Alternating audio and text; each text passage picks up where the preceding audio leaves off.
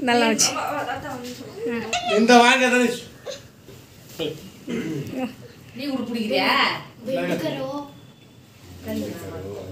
நிமிஷம்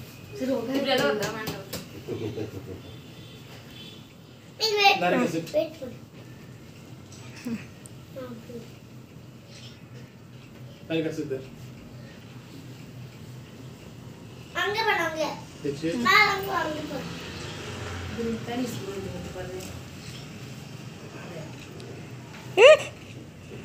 Nick.